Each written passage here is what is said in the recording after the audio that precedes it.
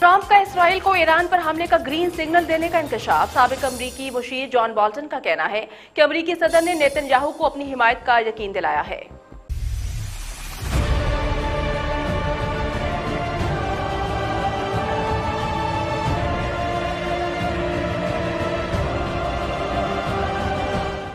America के कौमी सलामती के सबक मुशीर जॉन बोल्टन ने कहा है कि अमेरिका के सदर ट्रंप ने इसराइल के वजर अजम बेंचमिन नेतन्याहू को ईरान पर हमले का मस्बत इशारा दे दिया था।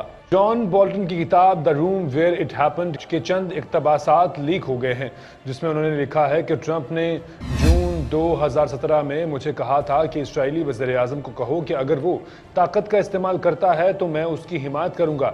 मैं खुद भी कह चुका हूँ, लेकिन तुम भी उन्हें दोबारा कहो।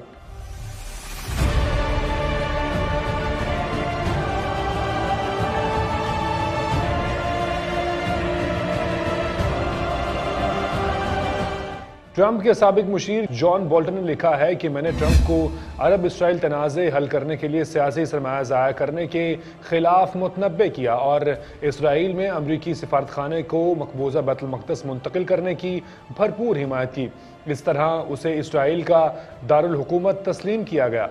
उन्होंने अपनी किताब में लिखा है कि ईरान के बारे में मैंने अमरीकी सदर को मशवरा दिया था कि ताकत के इस्तेमाल करने के बजाय अमरीका को ईरान के साथ जौहरी माहदे से दस्तबरदार हो जाना चाहिए।